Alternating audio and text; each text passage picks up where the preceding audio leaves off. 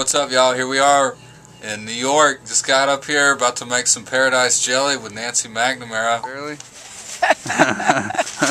and you know, Quince's over here.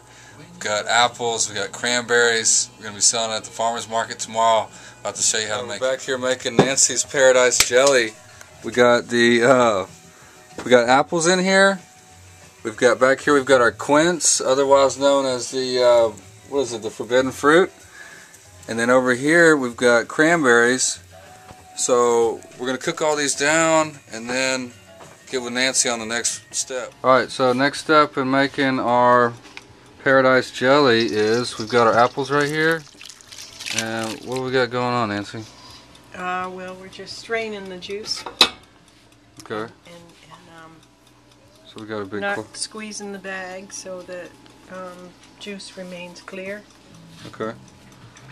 So basically just let it hang, let just all that liquid yep, come just, down. Just let the liquid come down, see? Alright. Cook down the quince, we cooked down cranberry and apple.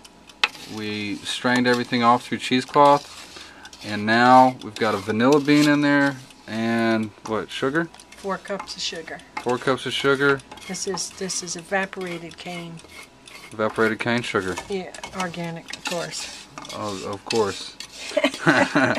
so we're gonna cook this down, let everything come together, and then what's what's the process after that? And then we put it in the jars. Put it in the jars, let it set.